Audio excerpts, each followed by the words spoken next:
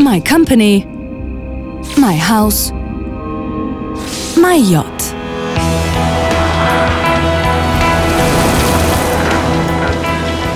I started by studying engineering and management. It wasn't always easy, but whenever the going got tough, sailing always cleared my head. The close contact with the professors helped me a lot. Today, I not only have my own company, I've also found a friend for life. But what if I'd studied something else? Singapore, scorching heat. Rotterdam, strong wind and rain. Elsfleth, perfect weather. Somehow, I always wanted to see the world. And once I'd chosen nautical science, it was full steam ahead. What's so great is that you get to experience life at sea for yourself.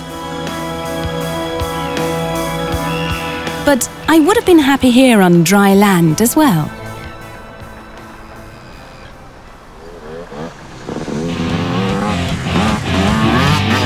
My way of relaxing, my second car, my beauty secret. I've always been fascinated by anything technical. When I chose the Bachelor of Electrical Engineering course in Wilhelmshaven, my friends were amazed. They say it's a man's world. Well, that can have its advantages. Graduates from here have great prospects. Most of us already had jobs lined up even before we finished the course. But I could just as well have studied something else entirely.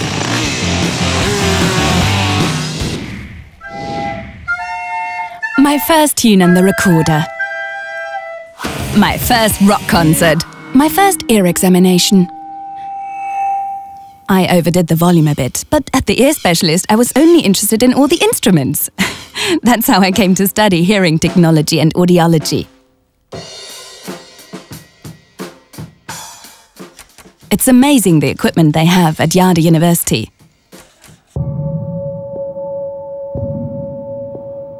The Bachelor in Hearing Technology and Audiology is a real insider tip.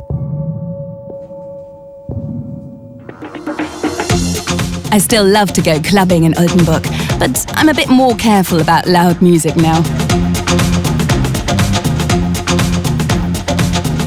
Maybe I could have developed my creative side. My townhouse project. My competition winner. My very first model.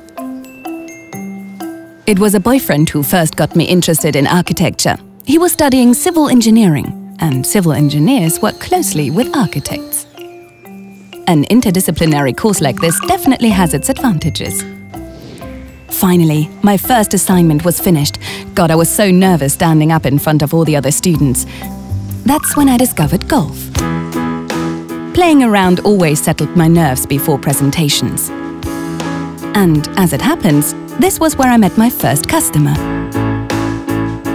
My choice, my studies, my future.